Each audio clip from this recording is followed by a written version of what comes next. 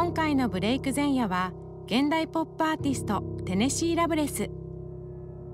大胆な色彩や独創的なパターンが魅力の彼はその才能をディズニーアート部門に見出されるなど世界的に活躍。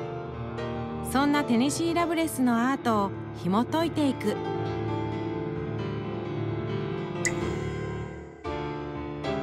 ブレイク前夜。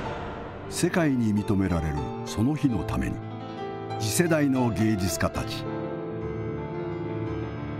本郷美術骨董館の提供でお送りします。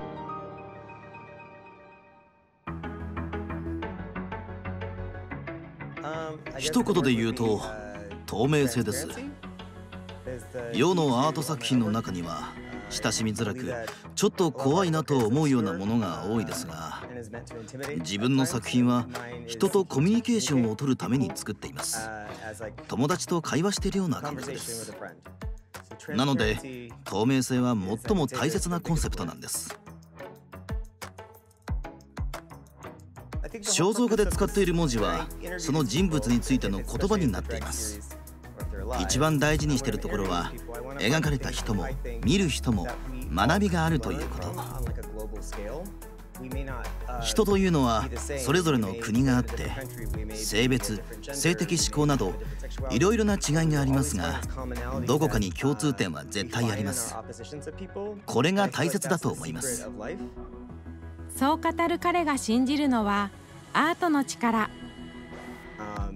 みんな誰でも試練があって大変な時期があってそれでも乗り越えて成功してきた目標を達成してきたとか皆さんそういう話があるはずです人生というのは大変なことが多いですがアートというのはそれらを救うものだと思います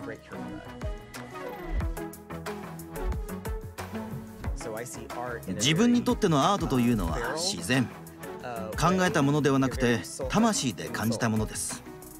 なので自分のアートに込めたメッセージ性というのは学問的や計画的なものではなくより人間的なものです。アートというのは科学ではないんです。アートに正解があるとしたらそれは見る人の笑顔です。ポップな作品を魂で描く。そしてそのアートはいつか誰かを救ってくれる。そう願いながら生きるテネシー・ラブレスが最後に伝える。若いアーティストたちへのメッセージ。アートは自分の親友でもあるし恋人でもあるし私そのものです。素晴らしいアーティストになるためには誰からの許可もいらないんですこれからの若いアーティストにそれを伝えたいです。とても大事なことだと思います。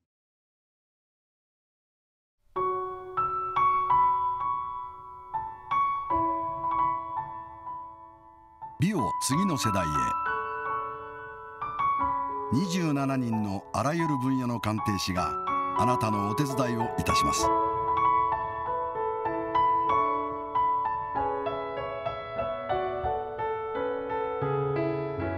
東大赤門前本郷美術骨董館次週はアーティスト斉藤亮介のブレイク前夜本郷美術骨董館の提供でお送りしました。